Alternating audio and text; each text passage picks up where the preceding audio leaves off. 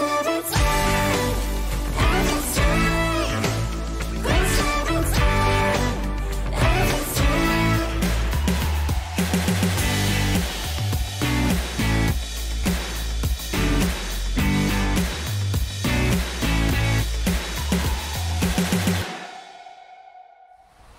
Hello there, and welcome to this week's online service from St Mary's Church in Ferndown and All Saints Church in Hampreston. My name's Ollie, and I'm the curate here, and we're so delighted that you could join us for this service today. Now, today we're going to be taking uh, an opportunity to look back over these last 18 months of pandemic and to start to process some of what we've been through before the Lord's. And we're also going to take the opportunity to look forward, to think through what we want to be like as a church community as we move forward into this new season. So, as we prepare now to worship, I'd love us to remember two things. First of all, we can come to God and worship just as we are. We don't have to pretend to be all okay, we don't have to pretend to be holy we can bring before God all of our failings, all of our frustrations, all of our disappointments, all of our deep hurt and loss. Come before God just as you are today and allow Him to minister to you now where you need it most. Second of all, let's come before God open, open to what God wants to do in us this morning, open to God, what God wants to lead us into in this new season. So let's pray. Father God, thank you that we can come now and worship you just as we are. Thank you that you welcome us into your presence. But Lord God, thank you that you never leave us just as we are, that you are constantly healing, challenging us, transforming us to be more like Jesus Christ our Lord. And Father, we give you permission to do more of that this morning. Come change us, come transform us, come equip us, come inspire us as we worship now. And we pray that our worship might bring glory to your name. Thank you, Lord God, that you are good and your love endures forever. Amen. He's our rescuer. He's our rescuer. We are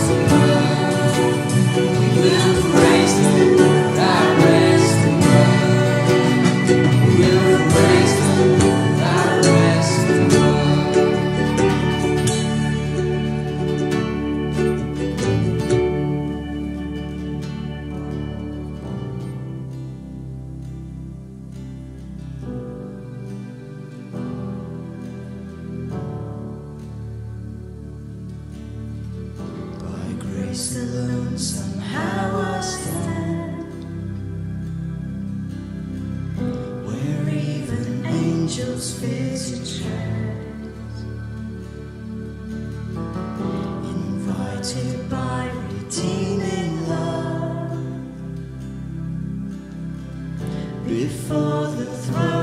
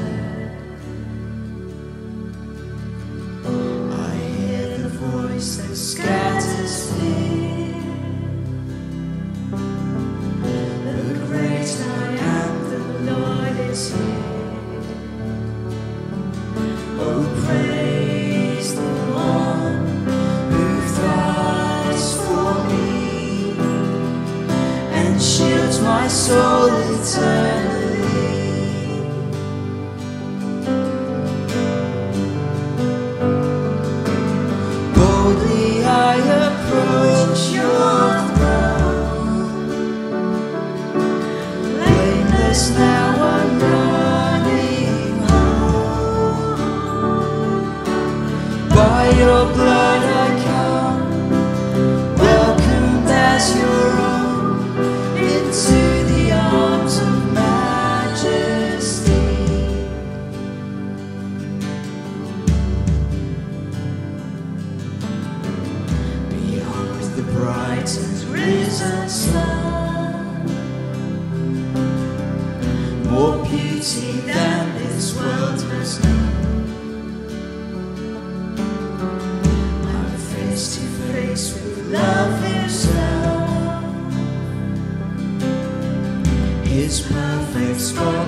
spotless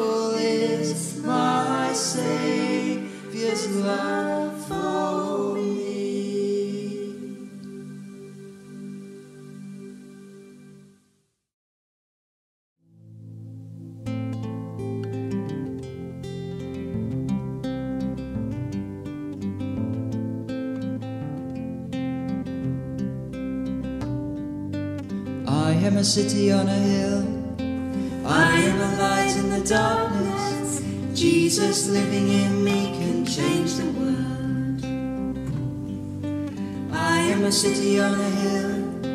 I am a light in the darkness. Jesus living in me can change the world. Let my light shine, let my light shine, let my light shine. Let my light shine, let my light shine, let my light shine. If God is for us, who can stand against me? Let my light shine, let my light shine, let my light shine. If God is for me, who can stand against me? Let my light shine, let my light shine, let my light shine. We are a city on a hill. We are a light in the darkness. Jesus living in us can change the world. We are a city on a hill. We are a light in the darkness. Jesus living in us can change the world. Let your light shine, let your light shine, let your light shine. Let your light shine, let your light shine, let your light shine. If God is for us, who can stand? Let your light shine, let your light shine, let your light shine. If God is for us, who can stand against us? Let your light shine, let your light shine, let your light shine. Let your light shine, let your light shine, let your light shine. Let your light shine, let your light shine, let your light shine.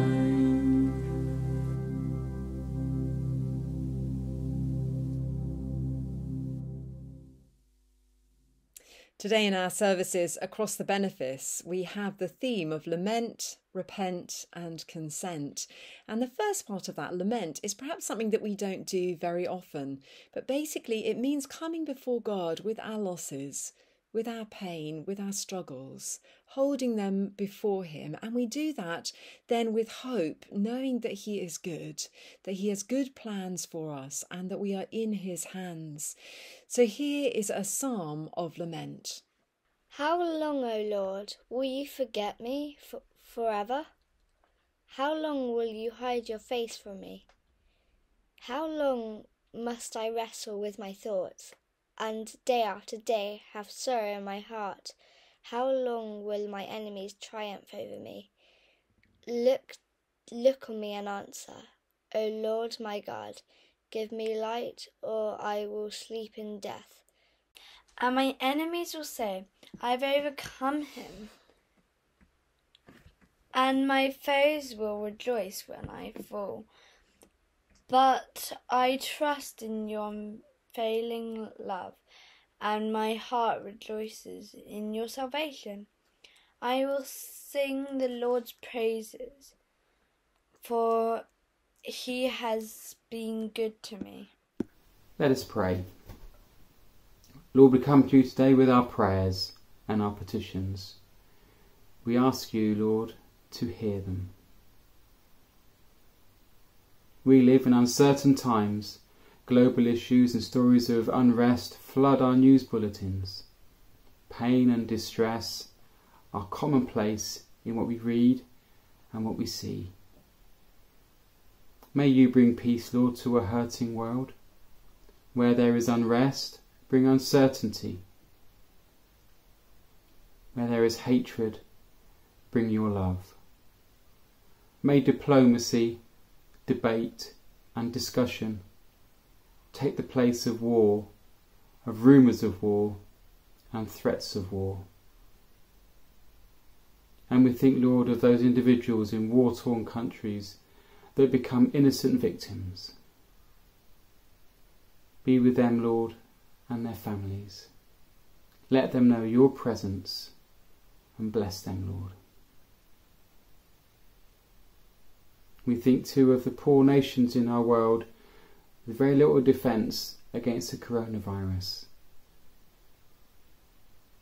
But Lord, we thank you that other nations are committing to send out vaccines to their poorer neighbours. And over the coming years, more and more nations will have access to a vaccine. So, Father God, speed that up, we pray. Amen. And now, Lord, we think of our own nation. The ongoing opening up of services continues to provide an air of uncertainty. Continue to give wisdom and discernment to the decision makers of our government. Importantly, may the voice of Christian MPs become more than a whisper, and may we see them placed in positions of authority, and their influence be felt in all corridors of Parliament. We thank you, Lord, for all those who serve our nation, our police force, our NHS services, and our social services, and all those civil servants who provide much needed support to all areas of our society. And Lord, we turn our attention to our community. Help us, Lord, as a church, find ways to bless and to serve our neighbours. The outreach team, Lord, that's meeting at the moment, give them outrageous ideas on how to interact and engage with our town, to bring your love and your message of salvation to our community. No idea, Lord, is too too daft, too big or too small. May all the ideas be used to expand your kingdom in Ferndown. We think now, Lord, of our church and our churches in this area. We thank you for their leaders. We ask you, Lord, to bless them as they serve. And this week, Lord, in St Mary's, the children are watching online new wine. And I pray, Lord, as they engage with that programme, they learn more of your love for them. May they have fun and enjoy the whole experience. And we thank you too, Lord, for the volunteers who support these things. But also importantly, Lord, as things move on, as other services and activities open up, well, there's a real need for volunteers, a real need for those to serve, to step out into new areas. Speak to us, Lord, individually. Give us the confidence we need to step out in faith. Lord, because these all the activities, they need people to volunteer. So, Father God, speak to us individually on how we can serve our church, Lord, in uh, bigger and better ways. And lastly, Lord, we think of ourselves. We're all in different places, physically, mentally, and spiritually. Where change is needed, Lord, we ask you to bring it about. Help us to consider our brothers and sisters when meeting in person. Help us to display your love and your temperament at all times. We ask these things in Jesus' name. Let us say together, Our Father in heaven, hallowed be your name. Your kingdom come, your will be done, on earth as in heaven.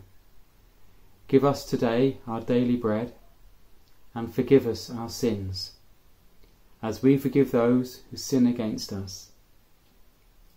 And lead us not into temptation, but deliver us from evil. For the kingdom, the power, and the glory are yours, now and evermore. Amen. Today's reading is from 2 Chronicles chapter 7, verses 11 to 16. When Solomon had finished the temple of the Lord and the royal palace, and had succeeded in carrying out all he had in mind to do in the temple of the Lord and in his palace, the Lord appeared to him at night and said, I have heard your prayer and have chosen this place for myself as a temple for my sacrifices. When I shut up the heavens so that there is no rain, or command locusts to devour the land, or send a plague among my people, if my people who are called by my name will humble themselves and pray and seek my face and turn from their wicked ways, then I will hear from heaven and I will forgive their sin and will heal their land. Now my eyes would be open and my ears attentive to the prayers offered in this place. I have chosen and consecrated this temple so that my name may be there forever. My eyes and my heart will always be there. This is the word of the Lord. Thanks be to God. Well, with everyone opting for staycations this year, some of our local visitors' attractions will be pretty busy. Now, everyone loves a National Trust property, especially one with the tea room. So, for us, Kingston Lacy is our nearest National Trust property, and it will be attracting lots of visitors who will be coming in to admire the works of art in, that it houses, uh, or the inspired architecture, or they'll come to marvel at the beautifully laid out gardens. The Bible passage that we've just heard read for today contains a wonderful promise that God gave to King Solomon as the work on his magnificent temple was completed. When it was finished, the temple was unrivaled in its beauty and splendour and in the wealth that it contained and the craftsmanship that went into constructing it. There was nowhere like it in all the earth. But there was something that set it apart from any other great house or mansion. This was the house of God Himself. You couldn't just visit there and come away thinking, oh, that was nice, and then start planning your visit to a, another splendid palace, because the temple was at that time the place of the presence of God. In fact, verse 2 of this chapter tells us that the temple was so full of the presence of God during its consecration that the priests couldn't get in. They, they physically couldn't fit because the temple was so filled with the presence of God Himself. So tangible and all consuming was His presence. And the response of the people was to bow down in worship, falling on their faces before God and responding, He is good, His love endures forever. Now, there's no building, however wonderful, in this world that can elicit that kind of response. It comes only from an encounter with the living God, with the glory of the Lord. And an encounter with the presence of God always leaves us with the conviction that He is so good and a response of heartfelt worship.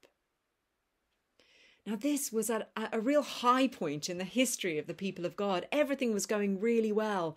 They celebrated for two weeks and then Solomon sent them to their homes. And the Bible says that they were joyful and glad in heart for the good things the Lord had done. And then comes our passage. And as God appears to Solomon, he speaks to him about when times are perhaps not so good. Now, when God had taught his people his good ways, when he laid out the Ten Commandments and instructed them in the way that leads to life, he had warned them that choosing to ignore his ways would have natural consequences. This is something that we all learn from childhood. If you're warned not to touch a hot pan, but you, you do it anyway, well, then the consequences are a painful burn. If you're told to clean your teeth, but you don't want to, well, that's your choice, but you know that you may not have any teeth by the time you're 23. And as, as we get older, as we move through life, we find the same principle at work. If you don't pay the gas bill, we find ourselves very cold in the winter. If we break the speed limit, you can find yourself out of pocket or on a speed awareness course. Our actions have consequences, good or bad, and God made it abundantly clear by calling His way the way of life, meaning that the consequences of, of not going His way were death.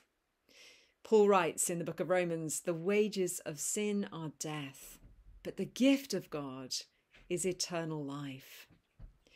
However, the Israelites found themselves in the same predicament that is so familiar to us. However hard we try, we can't keep God's commandments. You may have seen the marshmallow experiment or a similar thing where, where a child is left with a marshmallow or a chocolate cake and told not to touch it. And if they resist the temptation, there is a reward. It might be that they get an extra piece of cake or some more marshmallows. But for many, that is just too difficult and they succumb just having a little taste or a little nibble. Don't we know that's how temptation works? And however much we know the consequences, we still don't always make right choices. Living in New Testament times, we have this incredible blessing. We know that Jesus has made provision for exactly this situation. Now, instead of striving to keep the law, we come to Him in repentance whenever we fail. We put our trust in Him. We believe in Him in the fact that He was able to live the perfect life, believing in the forgiveness that He won for us by taking upon Himself the punishment for our wrong choices as He was put to death on the cross. Thanks be to God. When we give our lives to Jesus, we become clothed in His righteousness. He gives us new, clean hearts that desire to live for God. But even here in the Old Testament, God gives His people a way back. He says, If my people who are called by my name will humble themselves and pray and seek my face and turn from their wicked ways, then I will hear from heaven, and I will forgive their sin and heal their land. God promises that where there is repentance, there is forgiveness, healing, and new life. Last week we were thinking about pride, and there is no room for pride when it comes to repentance. Again, so often we find it exceedingly difficult to say sorry, to admit that we were wrong, to own our mistakes but it is a necessary prerequisite. We need to be humble enough to come to God and to tell Him that we can't make it without Him, that we've messed up and we need His help. And that, that can feel uncomfortable, but it is so worth it for the results. Sometimes we see repentance as perhaps a negative thing, but actually it is an incredible gift. It's the way back from being stuck from feeling separation from God, from being in a dry place, from being devoured by the ravages of sin. And so often, what we see in the Old Testament in a physical sense manifests spiritually in today, in New Testament times. So God says that the consequences of sin could be drought or plague or swarms of locusts. For us, if we've walked away from God, we can feel dry we feel empty and restless. I've walked with God throughout my life, but there have been times when I have wandered away from Him. And looking back on those times, I can see that they were the times when I have been the most miserable. And it's not surprising because I'd cut myself off from the source of life and love and joy. And if that is you today, if you resonate with that, if you if you can uh, uh, kind of ex- experience how what I'm talking about, if that's your experience, can I encourage you? Don't waste any time. Come back to God. His arms are wide open, ready to receive you. Know His restoring grace. He is incredibly gracious. He never turns us away. He promises that He will hear us. He promises forgiveness. He promises healing. So, what are you waiting for? But the promise here goes beyond a personal restoration, although that is so important and precious. God promises that He will heal the land. Because the thing about sin is that it has far reaching consequences.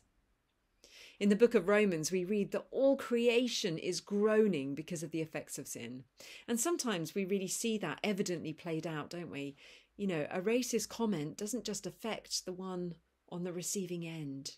It affects their family, their friends, the perpetrator, and ultimately the whole community as distrust and division build up until repentance comes and forgiveness is offered and trust is rebuilt, we can find ourselves as a society stuck in a downward spiral.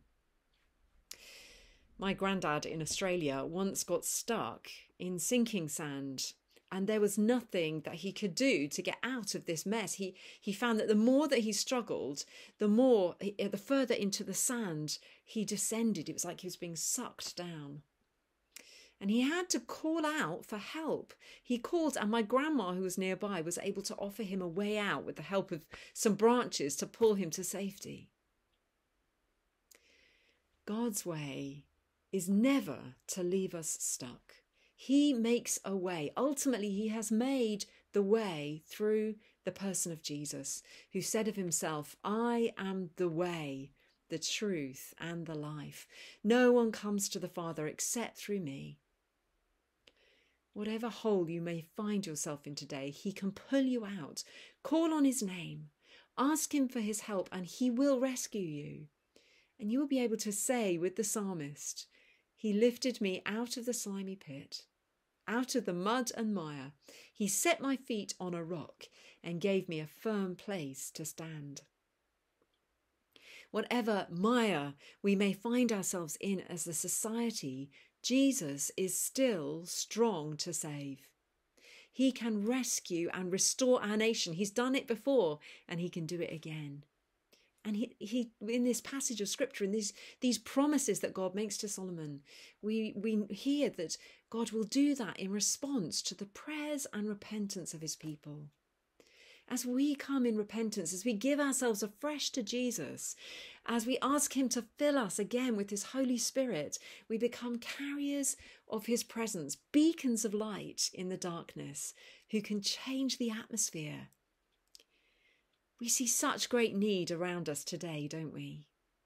We long for revival.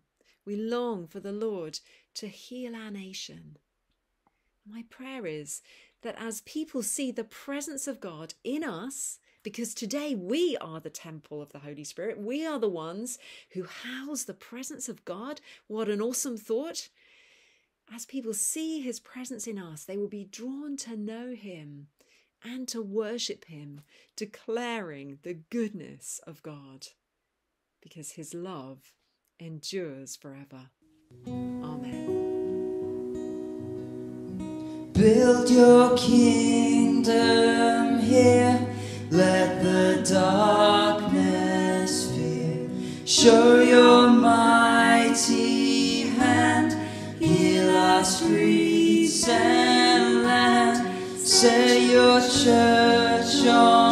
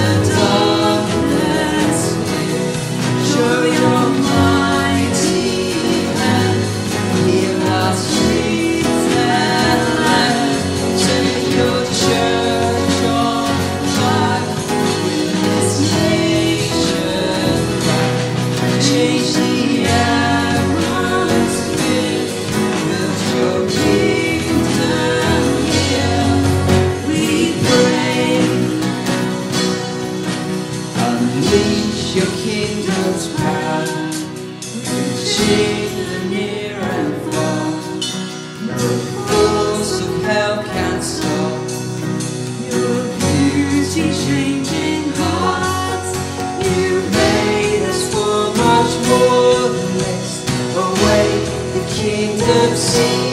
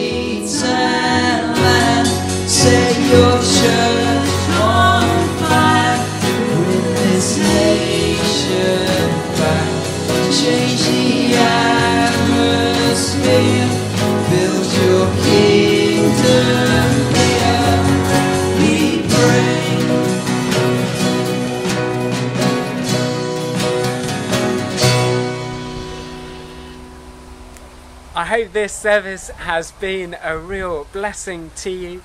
I also hope it's been impactful for you. There's a really fantastic bit at the end of the book of Joshua where Joshua, the great leader of the people of Israel, who leads them into the promised land, right at the end of his life, gathers all the people together and he exhorts them to continue following after the Lord, to not go after the gods of all the nations around them, to not get distracted by money, wealth, power, status, all the other things that can distract us in life. And he says this As for me and my household, we will follow the Lord. And I invite you as we look forward to this season that's hopefully coming, a, a season of reopening. I just invite you to make that your declaration.